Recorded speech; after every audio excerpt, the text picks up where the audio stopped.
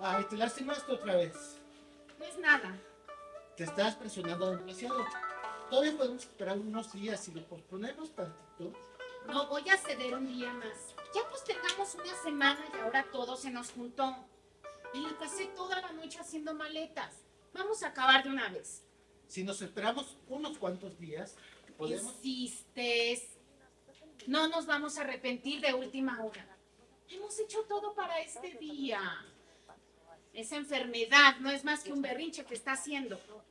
La escenita que le hizo a mamá hace dos semanas. ¿Cómo se atreve? Susi, Leo no se ha parado en tres días. Ni siquiera toma agua. Porque ella sí lo quiere. Tú escuchaste lo que dijo el médico. Está sana. No me importa que se desmaye, que finja debilidad.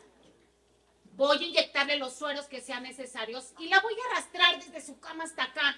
Me vale lo que diga. No nos va a hacer esto. A ver, déjame ver tu mano. Si ya terminaste, ve a vestirte de una vez.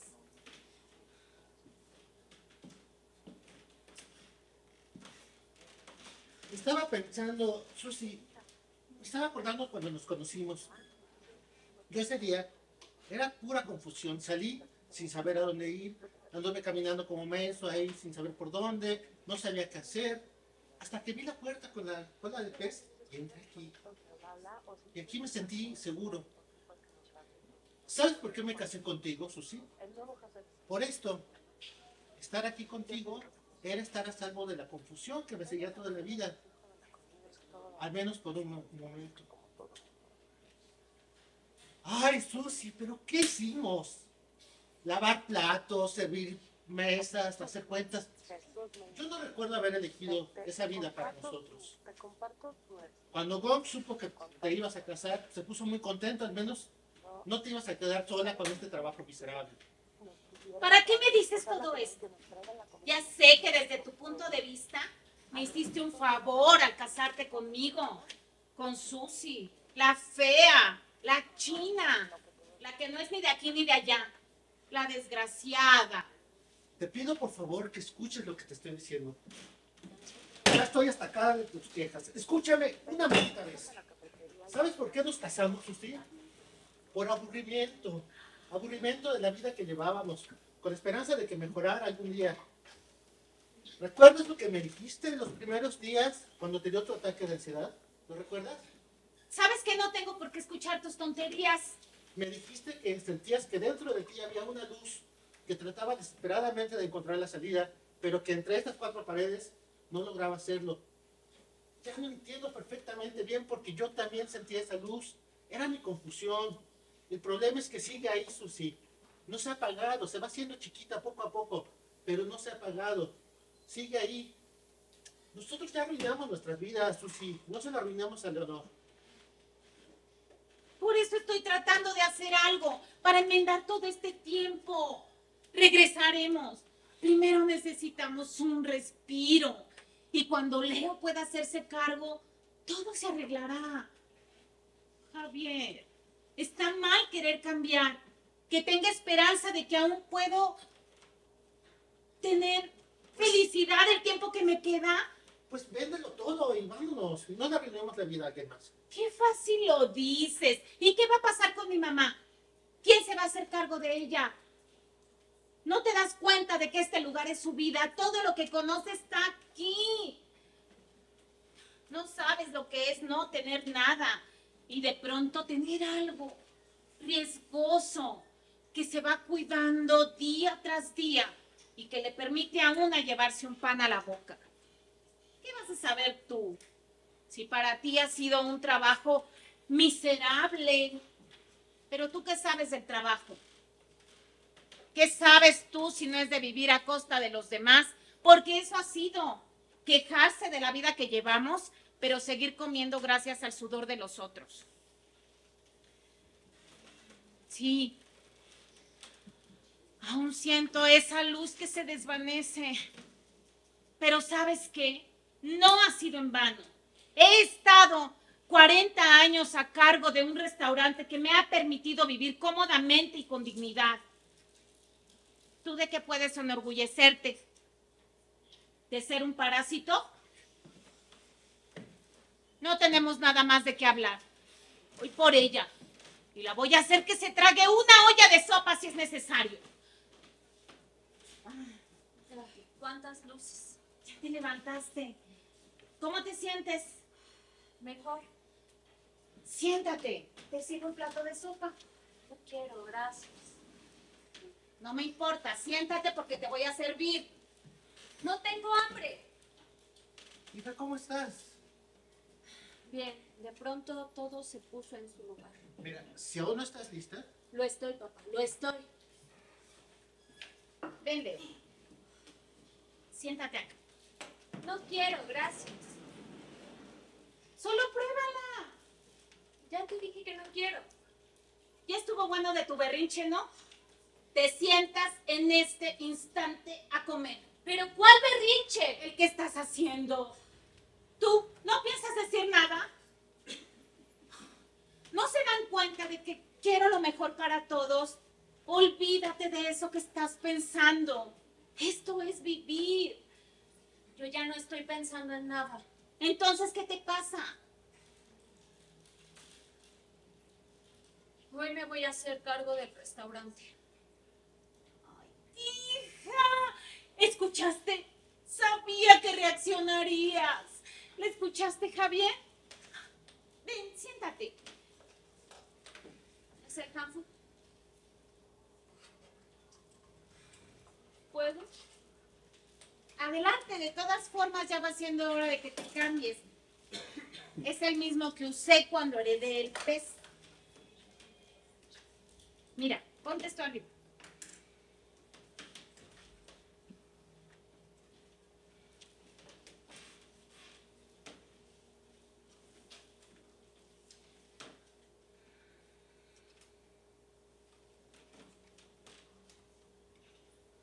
A ver, De aquí, la falda te tiene que rodear toda la cintura. Sostén esto.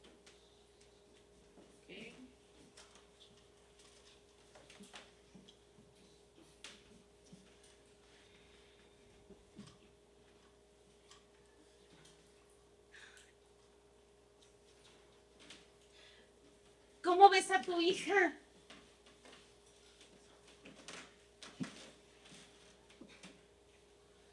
Ay, qué emoción. Qué bien se ve. Leo, estás preciosa. De espaldas creí que eras tu abuelo. Bajé a ver si ya te habías levantado. Hoy es un día especial. ¿Y esto? ¿No te has asomado afuera? Son de tu coche. A ver si ahora que termine todo esto, vamos a darnos una vuelta, tú y yo. Sé agradecida, hija. Gracias, abuela. ¿No te da gusto? ¿Sabías que tu abuelo también usó el hanfu en su ceremonia? ¿Quién te hizo este nudo tan feo? Qué bueno que ya estás mejor. Lo de la vez pasada fue culpa de tu madre. Siempre presionándote con la universidad. Mamá fue Leonora la que quiso entrar a la universidad. Claro, ella sí tuvo la inteligencia para hacerlo. Ah, ahora sí, ya quedó el nudo. Ay, está perfecto. Hija, tienes los labios resecos. ¿Ya le diste de comer o la sigues matando de hambre? Le acabo de ofrecer. Estoy bien, abuela. Mira, prefiero cambiarme de una vez. Me dijo que iba a comer cuando llegaran los invitados. ¿Verdad, Leonora? Hoy es un día de fiesta. Vamos a sentarnos todos a la mesa como la familia que somos. ¿Te parece, mamá? Ay, si tu abuelo estuviera aquí, qué gusto le darí- daría verte así, Leo. Él me decía que tú tenías algo especial Yo sé que tú no nos vas a decepcionar. Pareciera que el Hanfu lo hubiera hecho Shin para ti. ¿Ya te conté esa historia? Todavía te falta el adorno de la cabeza. Sí, ya me la contaste. Cuando Shin abandonó las vías del tren, caminó por días y para no perderse se ponía a unir viejos pedazos de tela. ¿Ves estos puntos? Son las luces del desierto. Así se veía el cielo de noche. Shin hizo un mapa del cielo para saber hacia dónde se dirigía y lo traes puesto. Ven, Leo, te voy a recoger el cabello. Buenas tardes, Elena. ¿Quién acomodó estas lámparas así? ¿No pueden hacer nada bien? Hija, ten, es mi regalo. ¿Eres tú? Estás sentado aquí mirando hacia la ventana. ¿Quién? ¿Mamá, tú lo dibujaste? Fue hace mucho. A ver, ya no te muevas. Cuando conocí a tu mamá se sentaba ahí en la mesa y a todos los que entraban aquí en el café los, los- los retrataba. Y un día la descubrí dibujándome a mí y ahí empezó todo. Lo hizo sobre una servilleta. Sobre una servilleta. Imagínate si hubiera seguido dibujando. No, Javier, ya basta. Si no tienes nada que hacer, ve a cambiarte, por favor. Se nos está haciendo tarde. bueno. Ah, es que cuando veo a mi hija así pienso cómo pudieran haber sido las cosas. Me rep... cuando este hombre se pone de cursi. Ah. ¿Cómo compara unos rayones con un coche? Es un debilucho. No sé qué le vio tu madre. Ese debilucho que tanto te repugna es el que te llevó y te trajo cuando falleció papá. Y el que te tomó del brazo cuando sentiste que ya no podías. ¿Por qué te enojas? Solo hice un comentario. No fuera yo de la que hablan, porque ahí sí no dices nada, ¿verdad? ¿Quién va a querer decir algo de ti? Tú y ese se encierran allí en la cocina para hablar. ¿Crees que no me doy cuenta? Ese es mi marido. ¿Y cuál es la diferencia entre ese y ese?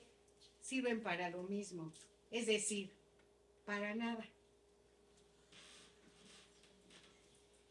Ya no te muevas. Mamá, ¿hace cuánto que no dibujas?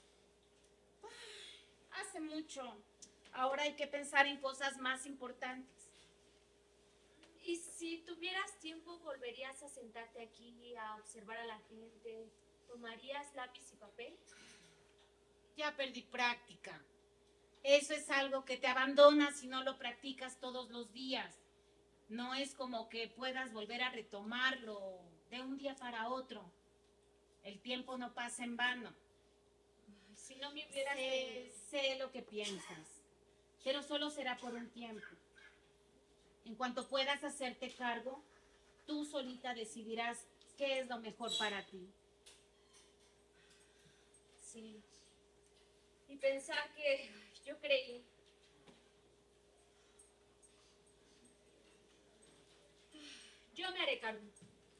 Voy, voy a hacer que vuelva a vender como cuando vivía el abuelo. Y al mismo tiempo voy a seguir con mis estudios. Nunca estaré cansada porque todo habrá valido la pena. Por lo mucho que hemos trabajado. Y ya cuando al fin ya sea una mujer exitosa y ustedes al fin se sientan tranquilas, entonces yo podré. Ay, sí, tendré una vida luminosa, mamá. Ay, hija. Tengo hambre. Come, come. ¿Te caliento?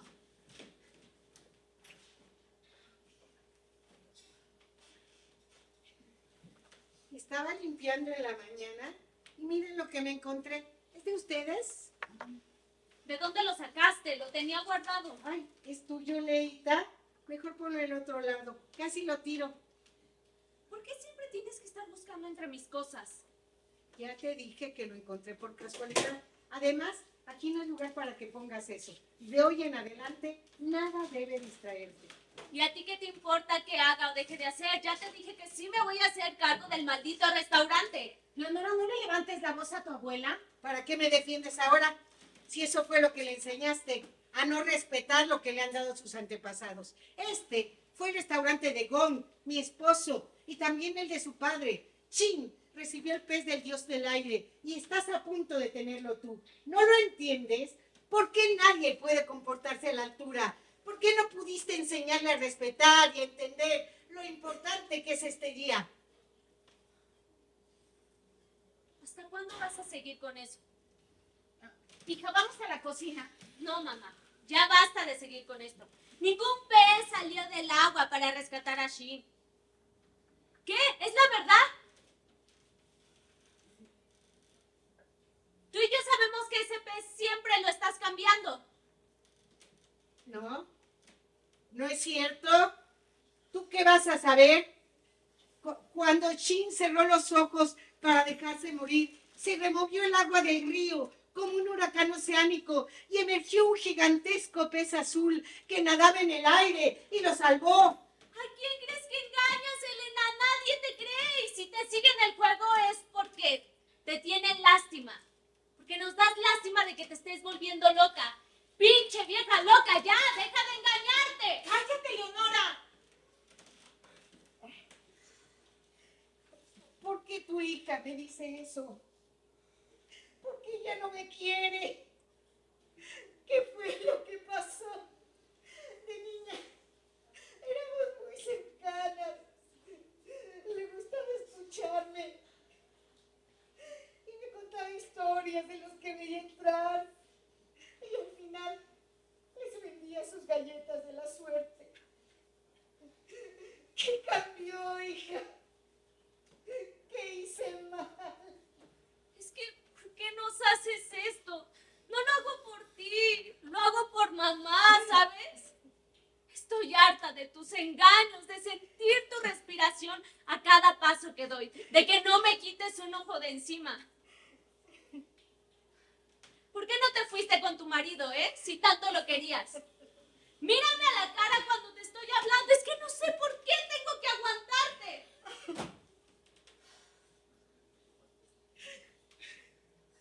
No tienes por qué aguantarme, pero lo haces. Allí está tu engaño. Ya, basta, por favor. Estoy harta de esta familia, estoy harta de sus historias.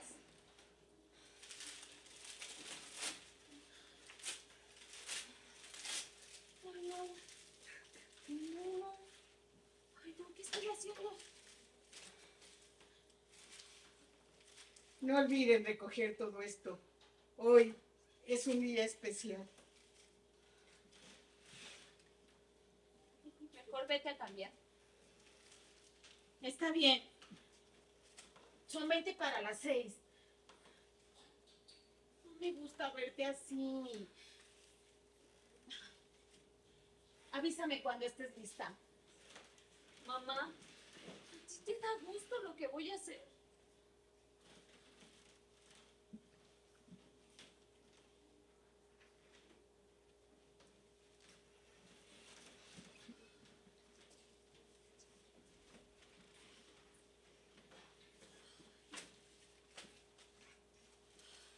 Algún día tendré tiempo.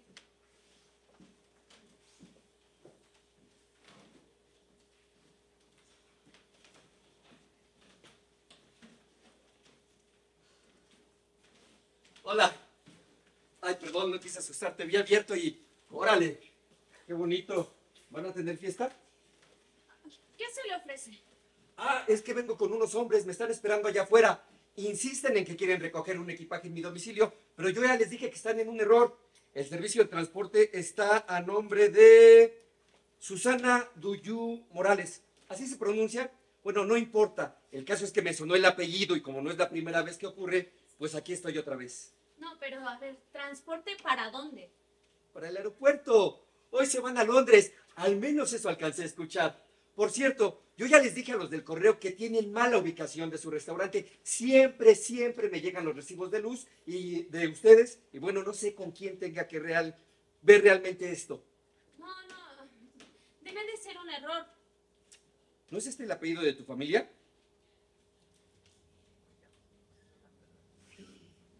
No estabas enterada, ¿verdad? No, no lo estaba. ¿Con quién viene? Sí, está acá de este lado. Venga conmigo. Híjole, parece que ya supieron a dónde venían. Discúlpame, con permiso.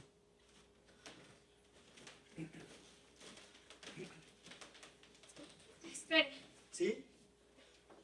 la otra vez me porté muy mal con usted. No te preocupes. Discúlpeme. No hay problema.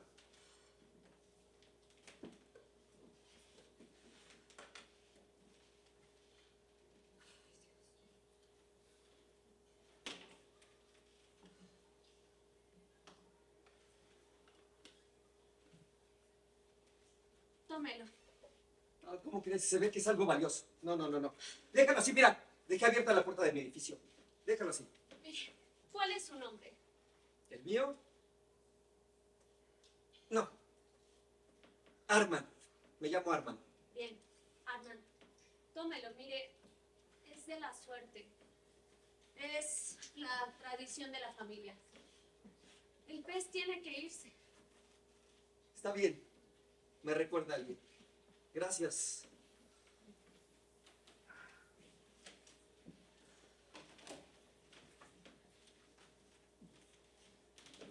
Oye, ¿ese no es el pez de tu abuela? ¿Qué haces aquí? Pues don Javi me dijo que cambiaron la fecha de la ceremonia y quise venir a ver. Supongo que ya estarás lista, ¿no? ¿Sabes qué? No va a haber ceremonia. ¿Qué? Oye, ¿estás bien? Pues, mejor que nunca. ¿Qué está pasando? Acaba de pasar algo que yo creía que con el tiempo todas esas promesas se cumplirían. Todo ese dejarse arrastrar por la vida tendría sentido. Pero ¿sabes qué? Nadie va a venir a salvarnos. Estamos solos. ¿De qué estás hablando? No te entiendo. Julio, ¿qué haces aquí? Mira, te despedí para que te animaras a hacer todo lo que me dijiste que harías. ¿Para qué estás aquí? Pues, pues, tú misma lo acabas de decir. Nadie va a salvarnos. Estamos solos. ¿Y no has vuelto a cocinar? ¿Con qué dinero? Mi papá ya no va a pagarme ni madres. eh. Soy un tonto. Mira, creo que mejor regreso a mi trabajo. No era tan malo y es mejor que quedarme en casa escuchando gritos todo el día.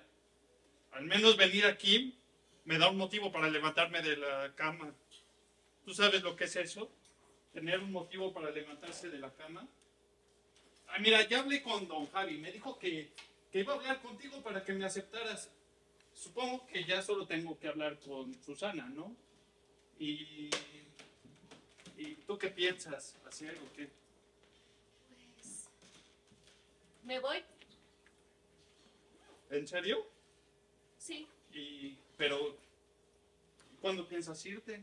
¿Ya hablaste con ellas? ¿Ya le dijiste a tu abuela? ¿Ya le dijiste a tu mamá? Pues nos lo dijimos todo. Y, y- y- pero ¿y cuándo piensas ir? En este momento, Oye, pero espera, ¿te volveré a ver? no lo sé. ¿Pero qué piensas hacer? ¿Cómo vas a vivir? ¿A dónde te vas? Leonora, No. ¿Sabes qué? No, ya no quiero que me llames así.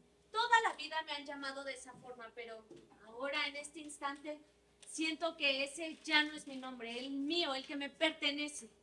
entonces ¿cuál es? Pues no lo sé. Ay, no te entiendo. Lo único que sé es que tengo que irme inmediatamente. No me parece chistoso. Adiós, Julio. Cuídate mucho.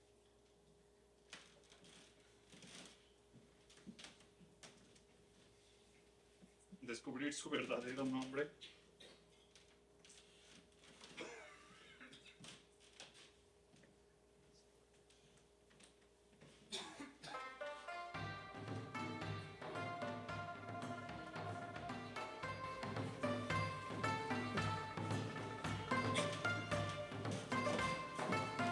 Bienvenidos. Pasen todos al pez del aire. Acomódense.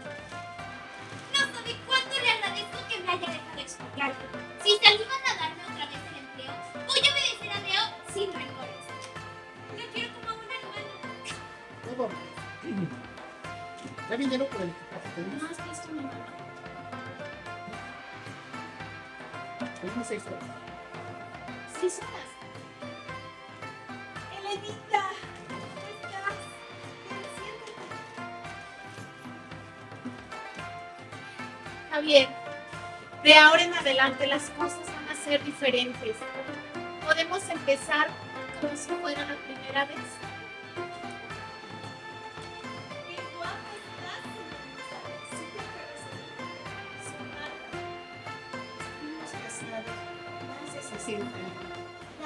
Vez que me tomó de la mano, estábamos de una- debajo de una pagoda, protegiéndonos de la lluvia. ¡Ay! ¡Ay! ¡Qué susto! Tranquila, ven, siéntate, ¿estás bien? A Leo todavía le asustan los cohetes. Voy a tener que explicarle. Por cierto, ¿dónde está? Leo, sal, mi niña. No tengas miedo. Leo. Mamá, cálmate, por favor. Yo voy por ella. Leo, ya estamos todos acá. Dani, ve a la casa a ver si está allá arriba, por favor. Ella no entiende. Se le dificulta ser madre y es como si no tuviera padre. ¿Dónde está Gong? ¿Vos, Elenita? Acá no está y tampoco está su mochila. Voy a subir. Llama a Dani. Márcale el celular. ¿Dónde está mi marido?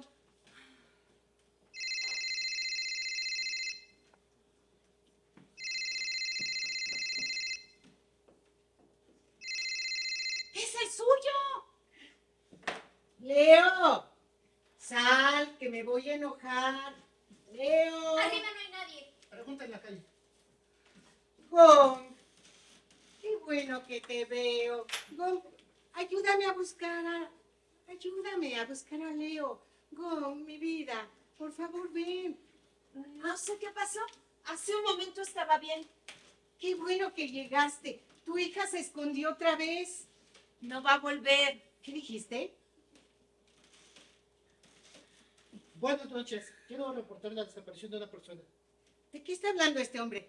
No le hagan caso. Siempre nos hace lo mismo. Ahorita va a entrar por esa puerta queriéndonos asustar.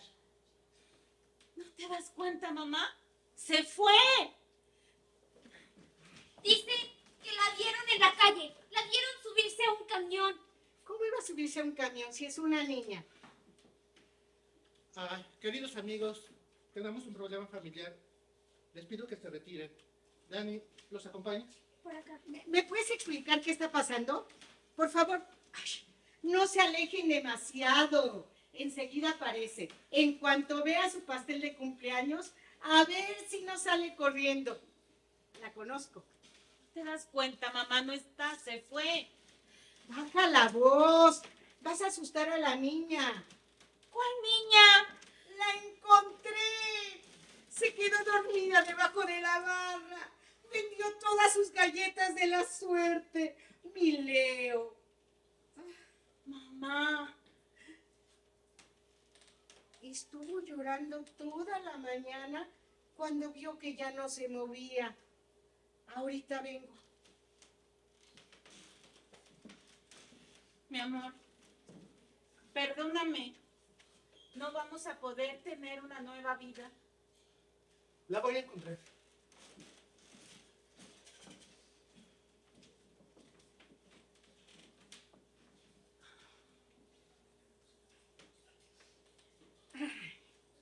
Le diré que estaba dormido. Le va a dar tanto gusto cuando lo vea. Me voy a quedar aquí para ver su carita cuando despierte. ¿No crees que se dé cuenta, verdad? Y luego, cuando crezca y pueda entender, le voy a explicar cómo son las cosas. Todo mejorará. Mamá, escúchame muy bien. Leo no está aquí. Se fue, mamá. ¿Sí me entiendes? ¿Entiendes lo que te estoy diciendo? Se fue, mamá. Se fue.